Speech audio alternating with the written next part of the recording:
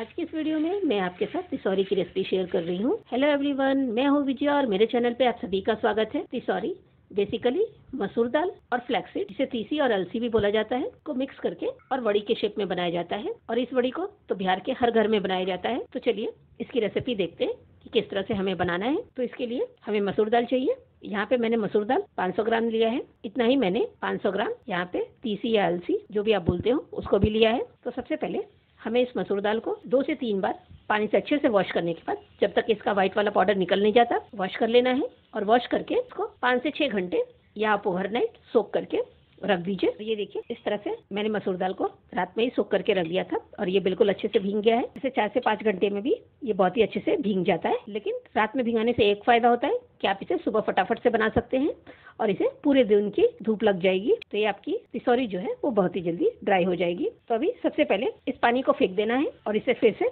एक दो पानी अच्छे से वॉश कर लेना है और वॉश करके इसको किसी भी छन्नी पे छान देंगे। और इसी तरह से तीसी को भी दो तीन पानी अच्छे से धोने के बाद इसको भी किसी छन्नी पे छान के और रख देना है। ये देखिए, भींगे हुए दाल को दो पानी से वॉश करने के बाद मैंने इस तरह से छन्नी में छान दिया है। और यहाँ पे तीसी को भी मैंने तीन बार पानी से अच्छे से वॉश करने के बाद इसको भी इस तरह से छन्नी पे छान दिया है। इस तरह से तीसी हल्के से फूल जाते हैं। और जब इस तीसी को तिसौरी बनाने के लिए यूज़ करेंगे तो आपकी तिसौरी जो है, वो बहुत ही सॉफ्ट बन के तैयार होती है। तो अभी तीसी को साइड में रख देंगे और इस दाल को ग्राइंड कर लेना है। तो अभी मैंने मिक्सी का बड़ा जार लिया है।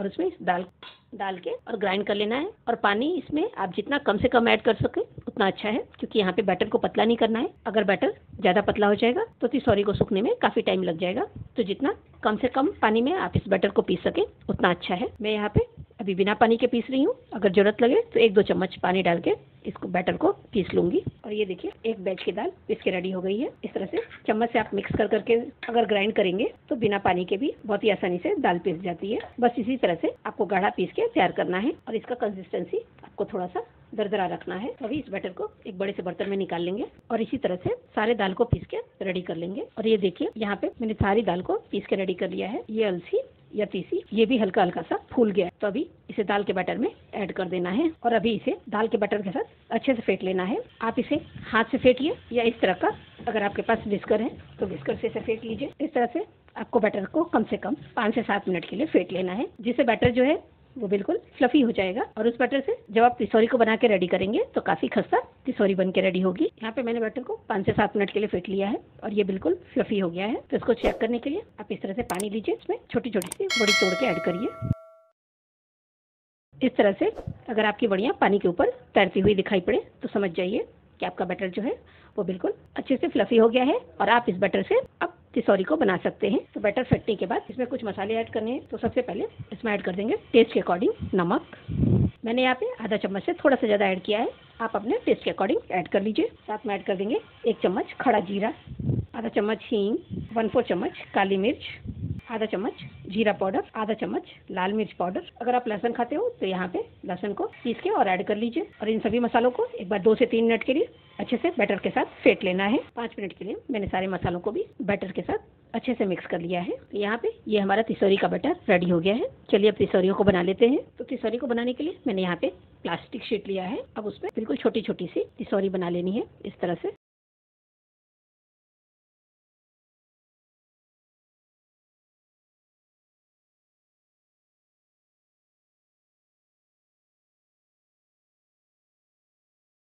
आप इस तरह से या तो हाथ से बनाइए या आप इसे कोन बना के भी बना सकते हैं। कोन आप दूध के पैकेट से बना लीजिए या आपके पास नमक का पैकेट हो, दाल का पैकेट हो, कोई भी पैकेट खाली हो, आप उससे कोन बना लीजिए। कौन से आप काफ़ी इजीली बना सकते हैं, लेकिन मैं यहाँ पे हाथ से बना रही हूँ तो सारी तिसौरी को इसी तरह से बना लेना है। और ये देखिए, यहाँ पे मैंने सारी तिसौरी को बना लिया है। अब इस तिसौरी को दो से तीन दिन कड़क धूप में सुखा लेना है। यहाँ पे ये तिसौरियाँ तीन से चार घंटे बिल्कुल अच्छे से कड़क धूप में सूख गई है तो ऊपर से ये बिल्कुल कड़क हो गई है। और इस तरह से ये देखिए, ये प्लास्टिक को बड़ी आसानी से छोड़ दे रही है। तो सारी तिसौरियों को प्लास्टिक से निकाल के इस तरह से इनका साइड जो है, वो चेंज कर देंगे। तो इस तरह से तिसौरियों का साइड चेंज करने के बाद आप फिर से इनको धूप में सुखा लीजिए। जब तक कि तिसौरियाँ जो है, वो पूरी अंदर से सूख नहीं जाती। देखिए अभी इस साइड से तिसौरियाँ जो है, वो गीली हैं। तो बस इनका साइड चेंज करके अभी इनको सूखने देंगे। कम से कम दो दिन कड़क धूप में इनको ज़रूर से सुखाना है, जिससे हमारी तिसौरियाँ अंदर से सूख जाए। तो सूखने के बाद मैं आपको फिर दिखाऊँगी। तो चलिए, इन तिसौरियों के सूखने के बाद मिलते हैं। और तीन दिन बाद, ये देखिए, यहाँ पे हमारी तिसौरी एकदम अच्छे से सूख गई है। आप इसका आवाज़ सुन पा रहे होंगे। बिल्कुल क्रिस्पी सी आवाज़ आ रही है। आप तीन दिन, चार दिन इसको अच्छे से सुखा लीजिए। जब तक ये तिसौरी जो है, वो अंदर तक ना सूख जाए।